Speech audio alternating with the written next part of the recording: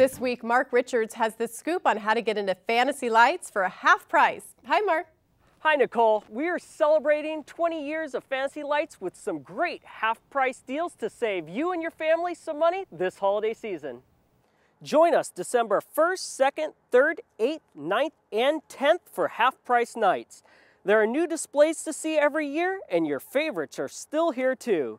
This is the only drive-through light display in Pierce County that has become a family tradition for many. Fantasy Lights is open from Thanksgiving through January 1st from 5.30 to 9 p.m. Pack your car with people and get in for just $14 or bring a bus with 25 people or more for 45. Start your new holiday tradition and call 798-4177 for more information. Why go shopping when you can go skating?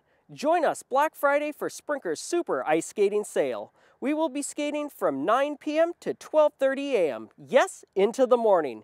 So drop your kids off and get your shopping done. Admission and skate rental is only $5. That's the cheapest rate it will be all year.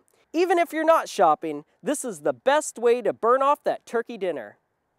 I still have a lot more lights to hang.